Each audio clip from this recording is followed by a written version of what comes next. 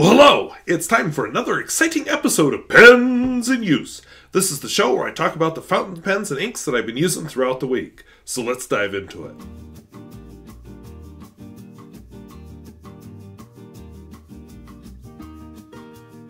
If videos like this interest you, where I talk about fountain pens both new and old and at all price points, I would invite you to subscribe. And I'm going to solicit your help for a pen repair. So let's take a look at what's inked up this week. From left to right, I have a Montblanc 32. Uh, yes, I own one Montblanc. I have a Platinum 3776. I have a Pen BBS 355, a Waterman Carène, Selector Purple and Black, that's what I'm calling it, a Geha Futura 714, Geha Boy, Parker Challenger, uh, Reform 4328, TOZ Penkala Mirna, and sitting off to the side without a tag for some reason, well, there is a reason, is my Monte, Monte Rosa. Uh, that this was this week's review. The Parker Challenger was this week's first impression, and we'll get into why the Mobile Monte Rosa is sitting off to the side and why I don't classify it with this Mont. As always, I'll be doing my, doing my writing samples in my Bomo art journal. So let's see how they write. So I thought my uh, deal, my first pen was going to be its last week because it was almost out of ink. It was going to be a Pilot Justus 95. I was using that as my daily writer pen, but for better or for worse, it ran out of ink. And so, I mean, it literally ran out of ink this evening. so, I quickly thought, well, I'm experimenting with different pens as daily writers, so I haven't used this pen in a while. This is a Montblanc 32 with an extra fine nib. Uh, yeah, I own a pen with the infamous bird splat on each end. A real Montblanc. This is from the 1960s. So if you're into the Montblanc thing, you're interested, um, but you don't like the prices, you may have better luck with vintage. I've heard good things about some of their steel nibs too. This one, of course, is a gold nib. And I can't think of anything in their current lineup, not that I know too many of them, but nothing that I've seen anyway that reminds me of this pen at all.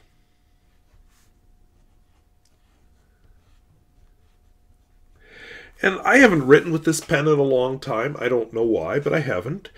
And uh, pulling it out and using it has reminded me what a good writer it is. It's a nice, slim, black, vintage pen.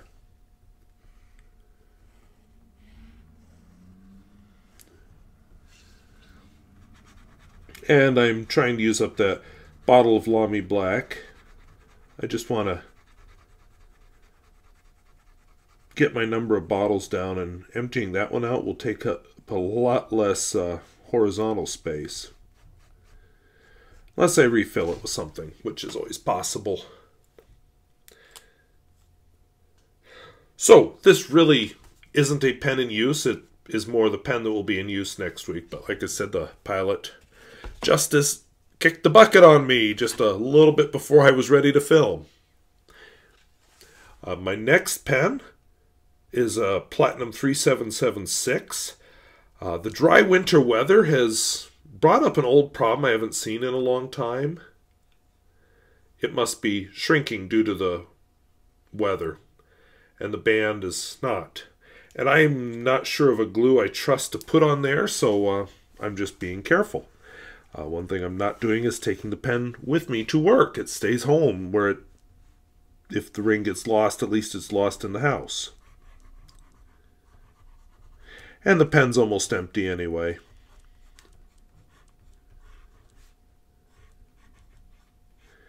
Uh, the ink is Montegrappa.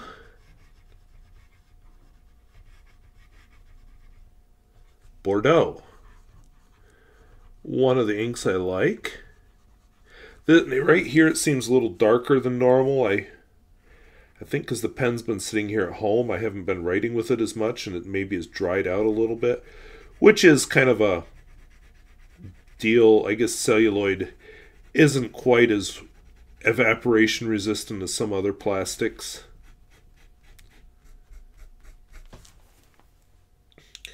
It's a pretty old-fashioned plastic, and uh,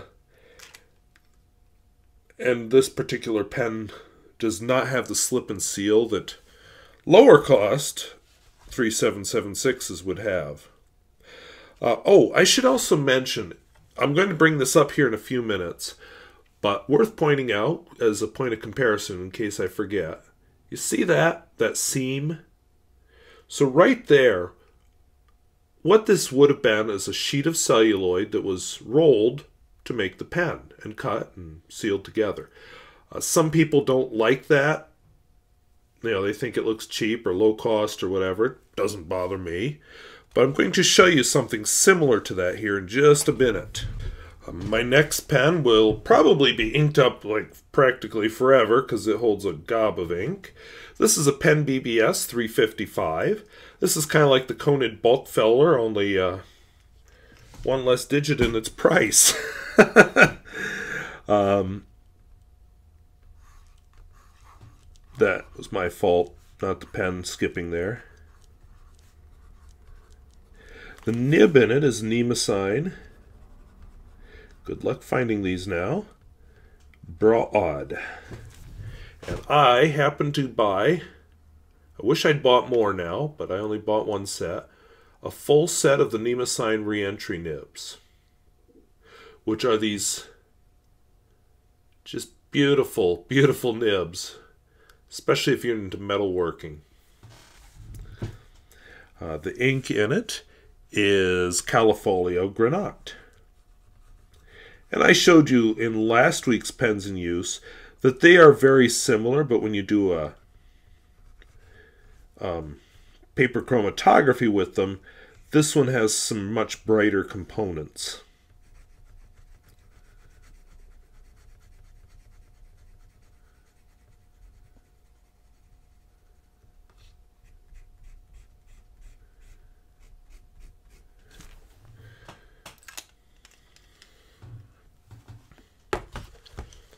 Next, I have a little piece of excitement. I've shared it last week, but it's still exciting. Uh, in fact, I just saw, I don't remember who it was, some pen reviewer anyway this week. Stephen Brown. It was Stephen Brown reviewed uh, a Waterman Carène with a broad nib on it, which is labeled with an L.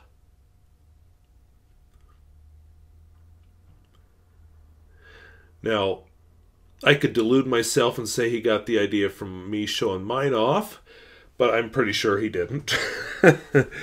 um, but yeah, I had uh, bought this a while back.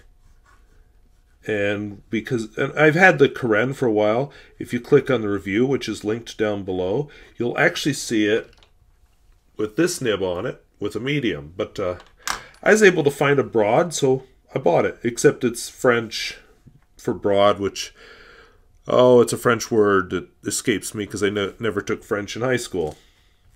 So this is Kyoiro Higashiyama Moonlight. Nothing about this color seems very moonlighty, but uh, the the names of this line of ink are actually all in reference to a certain area around Japan. So I'm sure it makes sense in context.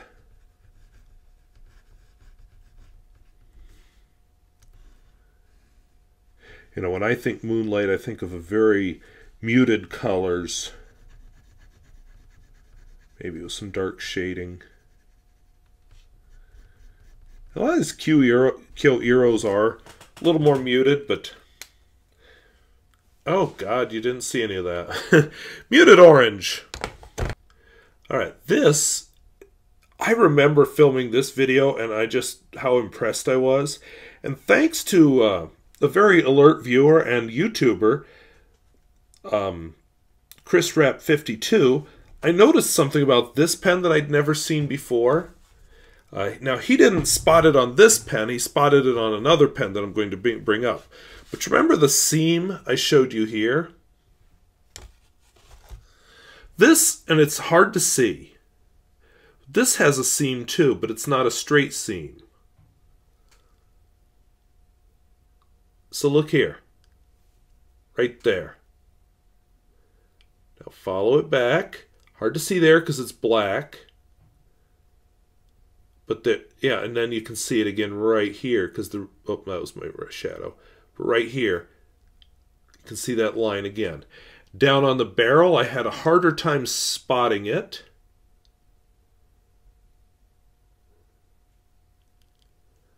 There. Trace it back. And we'll follow it around. So, I didn't even know they did rolled celluloid like that.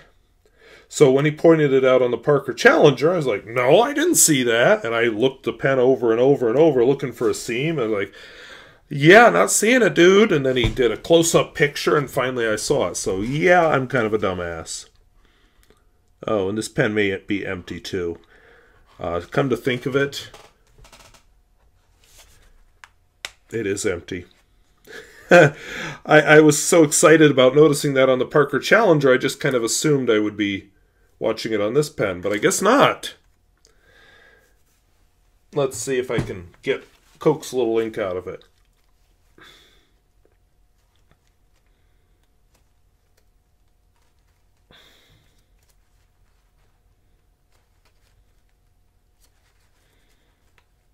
No, all I'm managing to do is clean a little. I'm going to just press the button over a paper towel off screen here and we'll see what you get, what I get.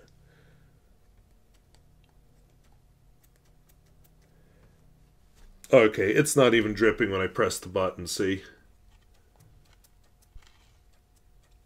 So, that, that guy's dry. Doggone it I was proud of myself because this was a good example of something I was going to talk about after I finish filming the writing. Guess not! So I feel like I must have emptied it out and set it aside, meaning to take it to the kitchen to clean it, and then I didn't take it to the kitchen to clean it. All right, on a non-celluloid front, a Geha 714.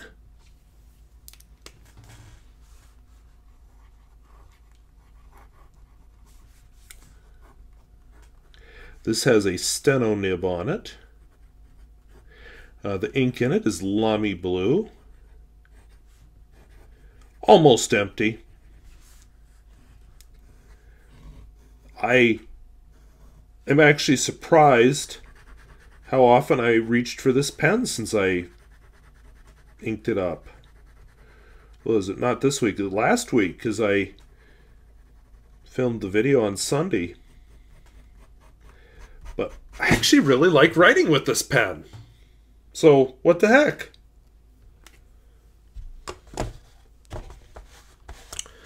Uh, my next pen is a Geha Boy. Boy! With a fun little green Diebel Dauber. And where is it? There it is. Geha Boy here. Finial, not Diebel Dauber. Wow. Um, I don't even have the excuse of it being too late because it's only 7:45. One thing I'm finding is I'm quite often hitting that switch on this pen. The one on the Futura is a lot. Oh, I didn't write that here. Futura is a lot harder to push.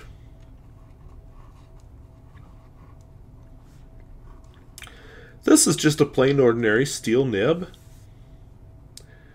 Uh, it's not even a steno nib. It's, it's this is a student pen. Uh, ink in it is Monteverde.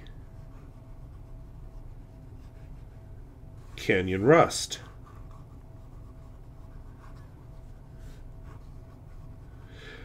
which uh, I, I, like some other colors in this family better, like uh, Noodler's Antietam or uh, Diamine Ancient Copper. But this is still a very nice color. And yes, I live in southwestern North Dakota out in the middle of the prairie, but I have a huge soft spot for the southwestern U.S. I loved my trip through well, kind of through Wyoming, but more through Utah, Colorado, um, Arizona, New Mexico. I just had a blast on that trip, and some of the canyons I saw and things. And of course, it was before I had the dash cam, before I had a digital camera, even. Uh, so I don't have much footage of that trip. But uh, I want to do it again. I think, well, I, I think I want a car that's not 20 years old to do it again, but I do want to do it again.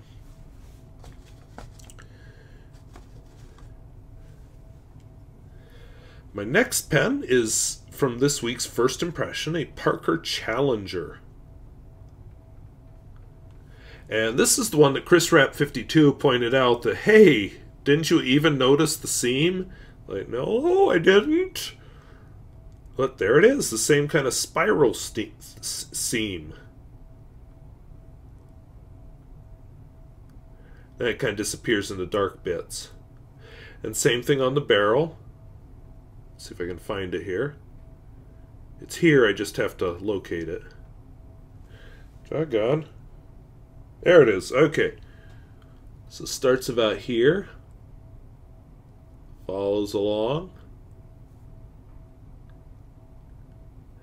And wraps around the barrel. So, it's a thing! I just did not realize celluloid was ever rolled that way, so I learned something.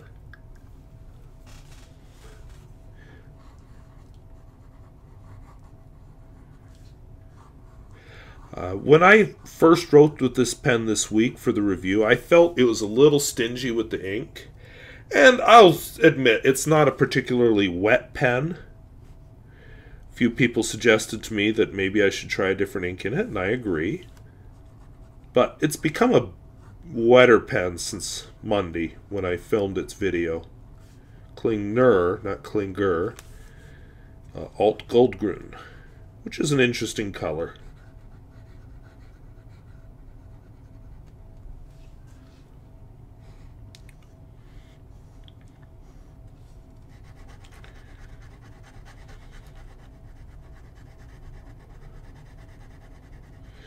One of these swatches every week would definitely run the ink down.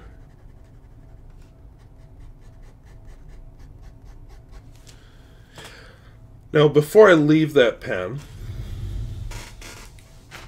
a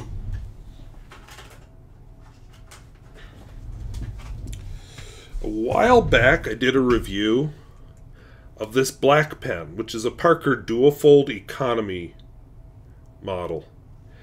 And now look at the clips. I think that puts them in about the same era. Uh, the date code is, I don't, I there might be one here on the black one, but I really struggled to make it out, even with a loop.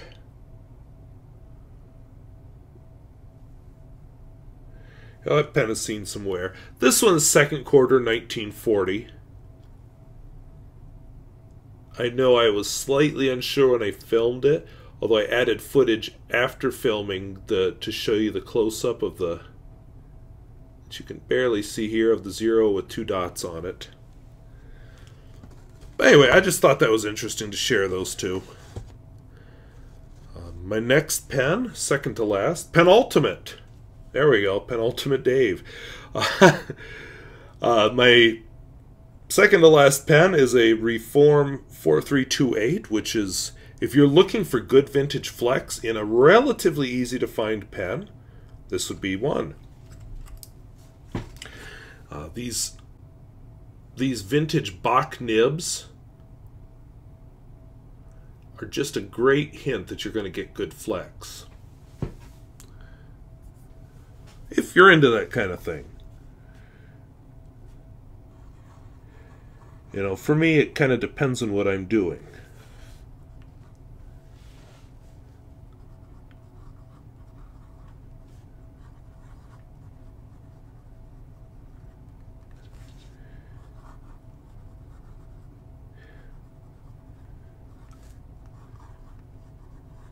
Uh, there's a reason why I thought of that Montblanc 32 as my daily writer rather than, say, this, or the Monte Rosa, because it doesn't have much flex at all.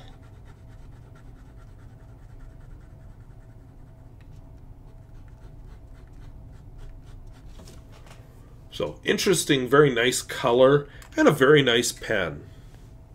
And finally, one ex surviving example of what I was talking about. I know it's surviving because uh, this one I can actually see the ink window. Um, my TOZ Penkala Mirna.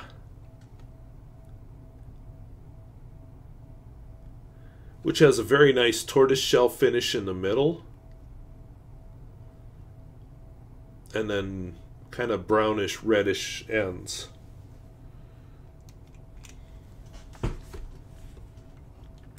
So a nice Croatian pen to finish this off. TOZ stands for uh, Pencil Factory of Zagreb, which is in Croatia.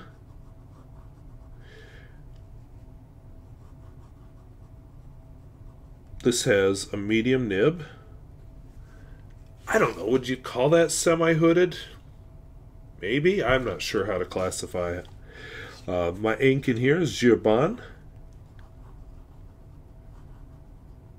Lie de Thé. Lie to the. See, it sounds better in French.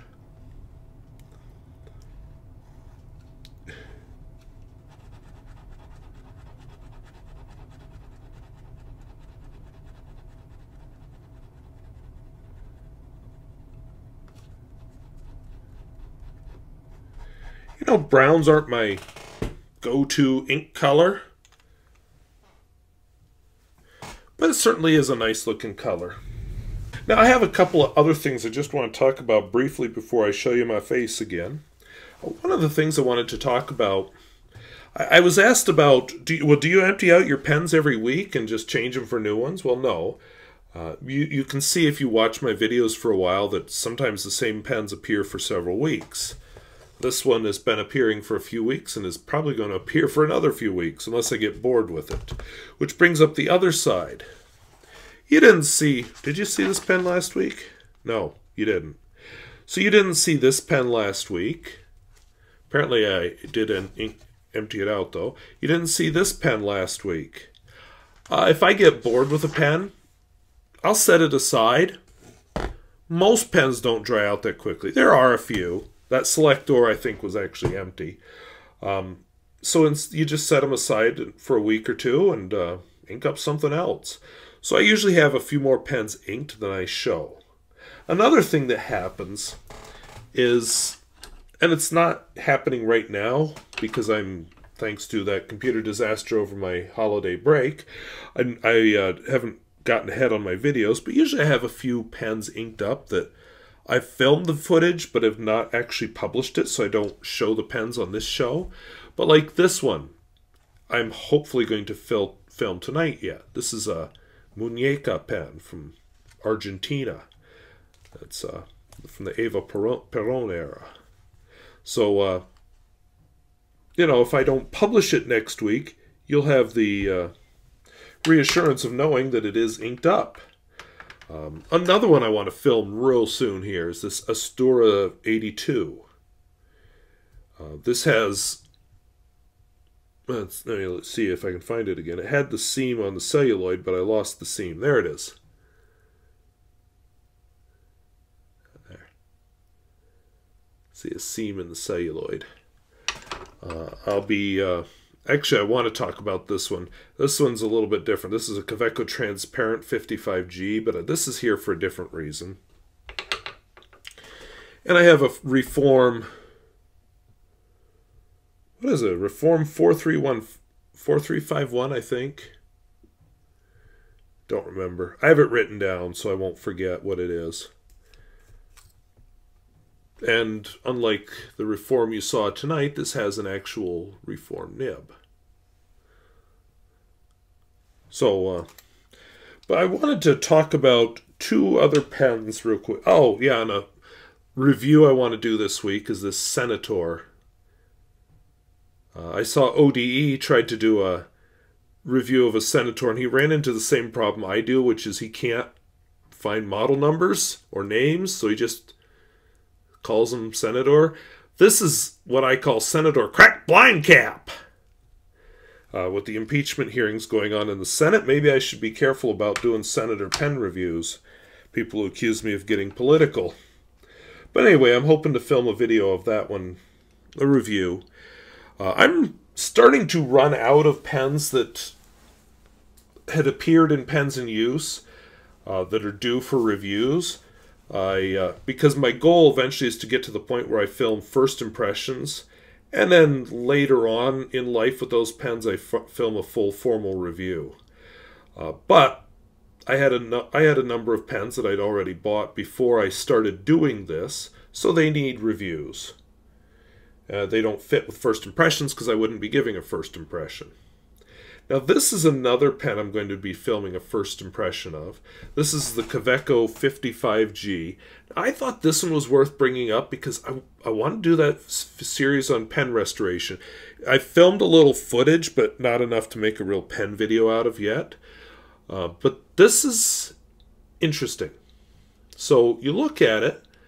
I did film a video a few weeks ago of a, of a Kaweco 37G well, this has been hovering around, and I thought, well, I need to film its first impression too. And everything looked good till I did this. And it definitely felt scratchy. So then, you know, I do this. Yeah, that's scratchy. So the first thing I look for is misaligned tines. Now, I don't have the best eye for that, but I have an aid to my eye. Let's see if I can successfully do this. Get the switch. So this aid to my eye, this, oops, oh, this is horrible. So we got Kaweco, 14 karat, 585, all that. Okay, it looks slightly off, like maybe I could do something with that. But that's not what bothered me. Flip it over. And tell me if this is my imagination. Does that look a little rough to you? So this loop enables me to get a little more magnification.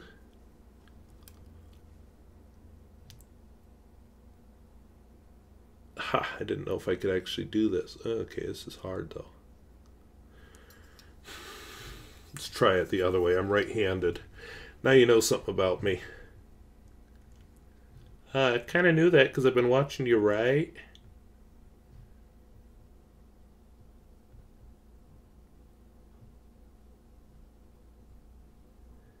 This might be too hard to do Well, maybe you can. This isn't the greatest. can see it better with my naked eye. But anyway, that's really rough. So I feel like maybe the nib could be straightened just a tiny bit. But the bigger problem is the the roughness on the back of the feed. I mean, looking at it through the loop, it almost looked like somebody had gone at it with a sandpaper or something. Because normal nibs don't look like that. I mean, let me just grab my Muñeca, which is a cheap pen. No, no slam against the pen, it just is. And uh, steel nib. Smooth. I grab any one of these pens laying here, that's going to be smooth. But this Kaweco 55G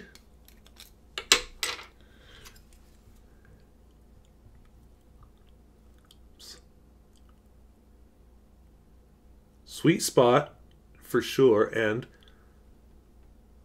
sandpaper, although it's a little too poorly lit for you to see that well. So uh, that's one of the areas I'm looking for advice. You know, I, I've never been brave enough to do nib smoothing, and if I do decide to try it, I'm definitely going to practice on, you know, platinum preppies and jet pens chibis first. Uh, but anyway, uh, so if you have any advice on that, you know, I've looked at the videos and stuff. I just never have done well, ever have actually done it before. The other thing that came up was um, with this pen. I'll grab the right, right one here. I left this one setting to the side. This was this week's first impression. Or no, sorry, review. And you may have noticed I never actually wrote with it tonight, and there's a reason. Because I emptied it out. Literally, I took out the nib and everything. Um, because I had an interesting suggestion in the comments. That's one of the reasons I like to do this. I don't have a community locally that I can go to for advice on pens, so I rely on the internet. Um, now, internet comments on a YouTube video maybe isn't your best source of advice, but it can point you to sources of advice to look at. And this person suggested before I try heat setting it, take a look at the nib collar. So in a Monte Rosa, at least mine, it just screws in. And this person suggested that it might be cracked.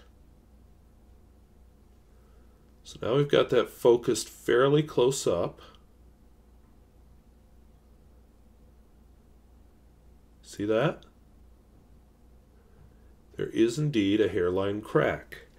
Now, uh, I'd kind of like to fix that one of the things that occurs to me is to get some glue, you know, super glue. I'm not 100% sure what I want to use yet. That's part of the advice I'm soliciting. I have some model glue that I use in Science Olympiad, uh, but use some glue and try to glue that. I don't know. Can you buy nib collars like this? I did a quick search and didn't come up with anything, but that doesn't mean they're not out there. I don't know, but that might be the reason for the gap that I pointed out in the video and a few people noticed. Oh gosh. Anyway, between the nib and the feed here. And that's why it'll move around so much. I mean, that makes sense to me. So, that's the other area I really want to solicit some advice. What do I do with a crack like that? So now you know my dirty little secret about how I have so many different pens and pens in use. Uh, I have more pens inked than you see every week. I just put some of them down for an app, or they're pens that just haven't been published yet. So I feel like uh, well, I can't show them to you in pens in use till they've actually had their own video. So uh, that's how I do it. I, I don't waste ink. I will admit the Monte Rosa got emptied out early because I wanted to know about the crack. I, I, if you saw my fingers, they're kind of yellow because of doing that. I, uh, yeah, it's cracked. So that's one little behind the scenes trick to this. I don't like to waste ink. Uh, I do run through ink fairly quickly. It always surprises me how quickly I can run through it until I'm trying to get a bottle to go empty. Then it seems to take forever but individual pens seem to empty out very quickly unless they are bulk fillers like the PenBBS. But uh, anyway, uh, I also showed you a couple of pens with, well, I'm looking for a little bit of device on repair. Uh, so if you can help me with that, please comment down below.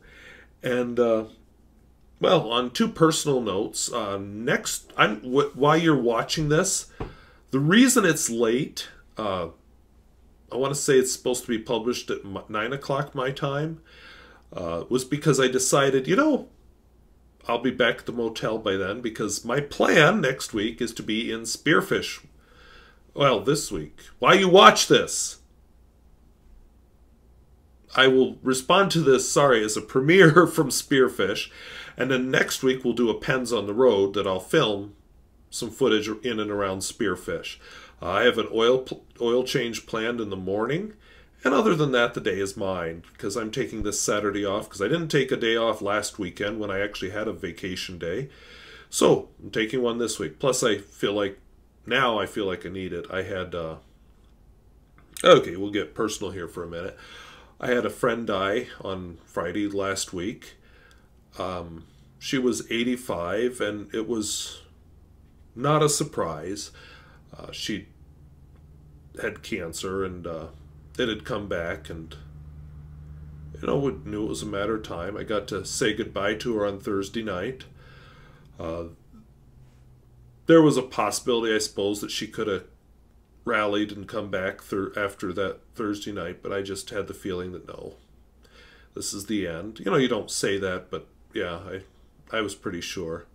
So uh, yeah, we lost a a good person on Friday, and I was at the funeral on Wednesday. Um, I was actually part of the funeral. You know, our family seems to have sort of adopted me. um, and I'll just, uh, I've taught a lot of her grandchildren. A few more years here, I'll start teaching her great grandchildren. Um, two of her, four, sorry, four of her great grandchildren live just across the street over there. Um, but yeah, just a great lady. Uh, she was a rancher most of her life. She lost her own mother uh, at a very young age, and she kind of became the mom for her siblings, and uh, then mom for her own kids and her grandkids and great grandkids. Uh, the last few years, as her health, you know, before the cancer, but other issues came up. When you're in your 80s, that just happens. Had forced her to move into town, and uh, over the last uh, I don't know, year or so, she's been in the nursing home because her health had gotten to that point. So, uh, you know, her mind stayed good right up to the end, so I'm happy about that. And, uh, you know, I'm glad uh, we were able to give her a good send off. So, on that depressing note, um, you know, it's.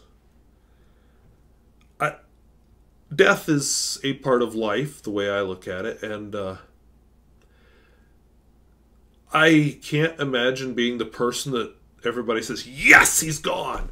Uh, I think it's a good legacy that there are so many people that will miss you, not just family, but friends and people around that you've touched their lives. Uh, that's always a good legacy that when you're gone, uh, it just shows the impact you've had. And you know, she had a good impact. So, uh, that's what we can all hope for. You know, when I go, I don't know what's going to happen with the pens, but I won't care because I'll be dead. um, but uh, you know, that's what I would hope for myself and for anybody I care about is that they be remembered and people are sad that they're gone. So, uh, yeah. Anyway, I guess uh, there's a little hope in that uh, because we'll all face it at some point in our life. Um, we probably already have. And, you know, it has me thinking about my own parents.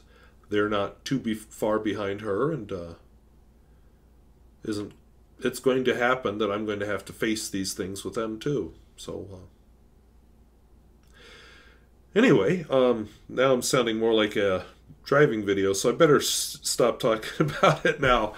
Uh, so anyway, next week, uh, look forward to a Pens on the Road from Spearfish, South Dakota. And uh, know, it's too late to tell you, tell you to stay tuned for the premiere of this video because uh, if you didn't know it was premiering, too late now. so I want to thank you for watching. And if videos like this interest you, where I talk about fountain pens, both new and old, and at all price points, I would invite you to subscribe. And uh, yeah, in the comments, if you have any advice, especially on that Kaweco with the really scratchy nib, maybe you saw something I didn't, because apparently that happens, uh, please feel free to leave a comment down below. Also, um, you know, if you've had some thoughts about the meaning of life or a life well lived, that could be an interesting topic as well. Uh, so, I want to thank you for watching. We'll see you later. Bye bye.